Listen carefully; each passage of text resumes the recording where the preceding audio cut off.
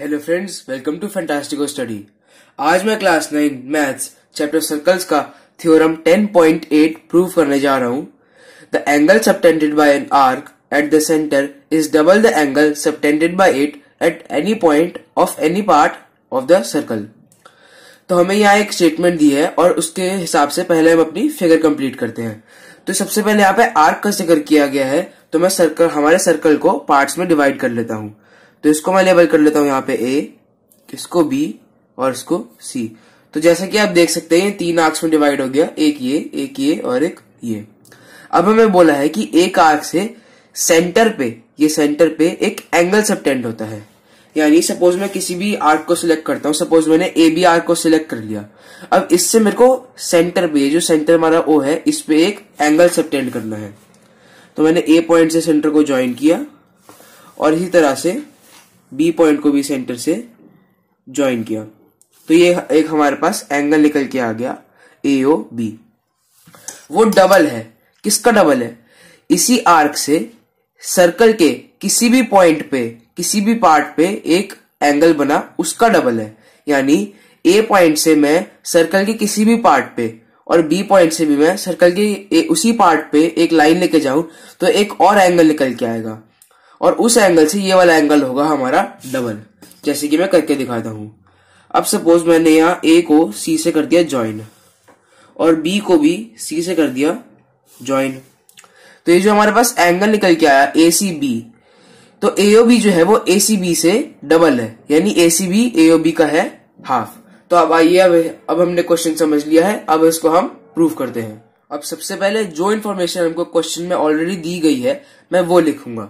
यानी गिवन अब as such तो हमें क्वेश्चन में कोई इन्फॉर्मेशन नहीं गिवन है, लेकिन फिर भी हमें कुछ तो लिखना ही पड़ेगा। इसलिए मैं लिख देता हूँ ओ इज़ सेंटर अब मैं लिखूँगा कि क्वेश्चन में हमें करने को क्या कहा गया है, यानी टू प्रूव प्रूव हमको ये करना है कि ये वाला एंगल इसका डबल है, यानी ये वाला कौन सा एंगल है? A O B angle A O B is equals to two angle ये वाला angle A C B angle A C B अब मैं लिखूँगा कंस्ट्रक्शन कंस्ट्रक्शन वो है जो हम अपनी आसानी के लिए क्वेश्चन को सॉल्व करने के लिए क्वेश्चन की फिगर में कुछ चेंजेस करेंगे, वो आएगा हमारा कंस्ट्रक्शन में. उसमें ये आएगा प्रोड्यूस सीओ टू पी इसमें हमें ये करना है, ये जो सी पॉइंट है, इससे मेरे को एक लाइन लेके जानी है पी तक। पी मेरा पॉइंट ये है। तो यानी मेरे को सीओ को पी तक प्रोड्यूस करना है, यहाँ से लाइन बनानी है। इससे क्या हुआ? हमारे पास दो ट्राइंगल निकल के आ गए। ए के लेफ़्ट वाला ट्राइंगल ए ओ सी और दूसरा ये राइट वाला ट्राइंगल बी ओ सी अब आता है हमारा जो मेन सॉल्यूशन है, जो कि है प्रूफ अब यहाँ पे इस फिगर में मेरे पास जितने भी एंगल है, उनको मैं लेबल कर लेता हूँ। अब ये वाला एंगल जो ए बी था, ये दो हिस्सों में बढ़ चुका है इस लाइन की वजह से।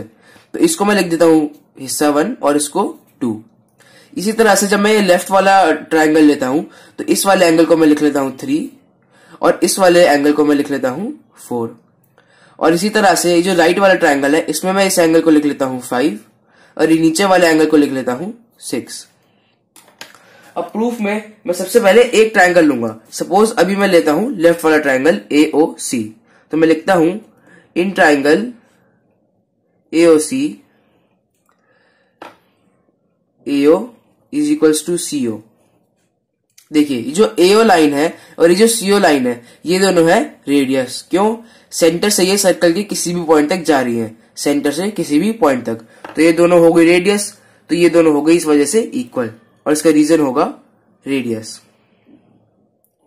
तो इस वजह से इनके जो ऑपोजिट एंगल्स होते हैं, जैसे ये जो एओ लाइन है, इसका ऑपोजिट एंगल ऑपोजिट है इसका एंगल थ्री और इसी तरह से जो सीओ लाइन है, इसका ऑपोजिट एंगल है एंगल फोर ये भी हो जाएँगे equal angle three is equals to angle four क्यों?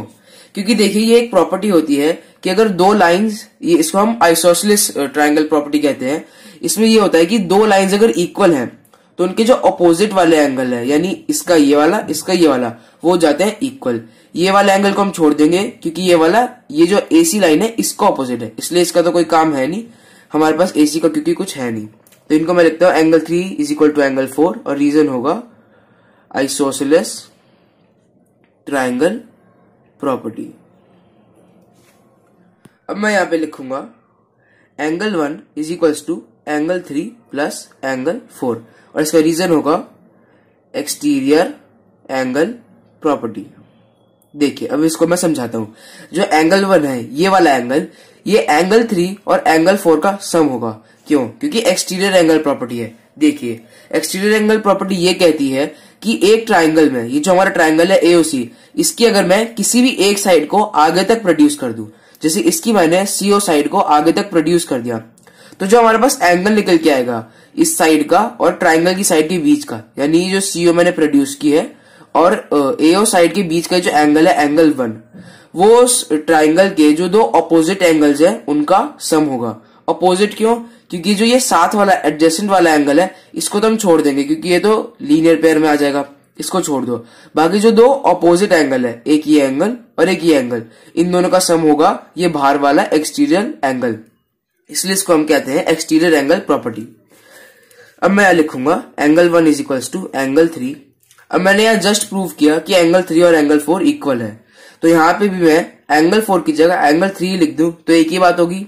तो मैं लिखूँगा angle one is equals to angle three plus angle three तो इसको मैं शॉर्ट में लिख देता हूँ angle one is equals to two angle three और ये जो हमारे पास इक्वेशन निकल के आई है, इसको मैं नाम दे देता हूँ इक्वेशन वन अब हमारे पास ये लेफ़्ट वाले ट्राइंगल से ये इक्वेशन वन निकल के आ गई है तो इसका काम हुआ खत्म. अब मैं लूँगा ये राइट वाला ट्राइंगल बी ओ सी तो मैं लिखता हूँ, इन ट्राइंगल बी ओ सी अब इसमें जो बीओ साइड है और जो सीओ साइड है, ये दोनों भी रेडियस है, क्योंकि सेंटर से सर्कल के किसी भी पॉइंट तक आ रहे हैं. तो मैं लिखूँगा BO is equals to CO और इसका रीजन होगा रेडियस अब जैसे पिछले वाले ट्राइंगल में दो एंगल्स इक्वल होते हैं, क्योंकि उनके ऑपोजिट साइड्स इक्वल थे। इसी तरह से इस वाले में बीओ का ऑपोजिट एंगल है एंगल फाइव और जो सीओ है, उसका ऑपोजिट एंगल है एंगल सिक्स तो इस वाले ट्राइंगल में राइट वाले ट्राइंगल में भी एंगल फाइव और एंगल सिक्स हो जाएँगे equal angle five is equal to angle six और इसका रीजन क्या होगा? Isosceles triangle property. अब यहाँ पे जो एंगल टू है, इसका सम होगा एंगल फाइव और एंगल सिक्स के बराबर। Angle two is equals to angle five plus angle six इसका रीजन होगा एक्सटीरियर एंगल प्रॉपर्टी अभी जो राइट वाला ट्रायंगल है, इसकी ये जो सीओ साइड है, इसको मैंने यहाँ पे एक्सटेंड कर रखा है और उससे ये एंगल टू निकल के आया है। तो ये एंगल टू इसके ऑपोजिट दो ऑपोजिट एंगल्स का सम होगा, यानी एंगल फाइव और एंगल सिक्स जो इसके एडजेसेंट वाला एंगल है, ये वाला एंगल इसको हम छोड़ देंगे इसका कोई काम नहीं है। अब यहाँ पे मैंने प्रूव किया कि एंगल फाइव और एंगल सिक्स बराबर है तो मैं यहाँ पे angle two is equals to angle five और एंगल सिक्स की जगह भी एंगल फाइव ही लिख दो तो वो एक ही बात होगी प्लस एंगल फाइव तो इसको मैं शॉर्ट में लिखता हूँ angle two is equal to two angle five और ये हो गया हमारी इक्वेशन टू अब हमारे पास दो इक्वेशन आ गई है तो इनको कुछ नहीं करना, बस इनको ऐड कर देना है। तो मैं लिखूँगा एड वन एंड टू तो अब मैं दोनों का एलएचएस और आरएचएस देखूँगा। सबसे पहले मैं लेता हूँ इक्वेशन वन इक्वेशन वन के एलएचएस में है एंगल वन तो मैं लिखता हूँ एंगल वन और अब मैं देखूँगा इक्वेशन टू इक्वेशन टू के एलएचएस में है एंगल टू तो मैं लिख देता हूँ प्लस एंगल टू क्योंकि मैंने लिखा है यहाँ पे एड वन एंड टू अब दोनों का एलएचएस खत्म हो चुका है तो मैं लगा देता हूँ आरएचएस के लिए इक्वल टू अब सबसे पहले इक्वेशन वन का आरएचएस है टू एंगल थ्री तो मैं लिखता हूँ यहाँ पे टू एंगल थ्री और अब इक्वेशन टू का आरएचएस है टू एंगल फाइव तो मैं प्लस का साइन लगा के टू एंगल फाइव क्योंकि मैंने लिखा है एड अब मैं देखता हूँ फिगर में कि अगर मैं एंगल वन और एंगल टू को प्लस कर दू तो मेरे को क्या मिलेगा? जो ये बड़ा वाला एंगल है, ये जो पूरा एंगल है, मेरे को ये मिलेगा। और इस पूरे एंगल का नाम है ए ओ बी तो मैं यहाँ angle one plus angle two की जगह लिख देता हूँ। एंगल ए ओ बी और यहाँ से मैं टू एंगल थ्री और टू एंगल फाइव में से टू ले लेता हूँ कॉमन टू कॉमन ले लिया तो क्या बचा मेरे पास? Angle three plus angle five अब देखिए, इस फिगर में अगर मैं एंगल थ्री और एंगल फाइव इन दोनों एडजस्टेंट एंगल्स को प्लस कर दूँ तो मेरे को ये बड़ा वाला एंगल मिलेगा। और ये बड़ा वाला एंगल किसके बराबर है? ये जो पूरा ए सी बी है, इसके बराबर है। तो मैं लिख देता हूँ angle A O B is equals to two ये जो ब्रैकेट के बाहर था, वो एज इट इज़ रहेगा। और ब्रैकेट यहाँ पे आ जाएगा एंगल ए सी बी और जो टू प्रूफ की स्टेटमेंट थी, वो भी कुछ ऐसी दिखती थी हमको। तो जो हमको प्रूफ करने को कहा गया था, वो हमने यहाँ पे फाइनल अपनी कंक्लूडिंग स्टेटमेंट ला दी है। तो गाइज़ आज की वीडियो के लिए बस इतना ही। मिलते हैं नेक्स्ट वीडियो में। Thanks for watching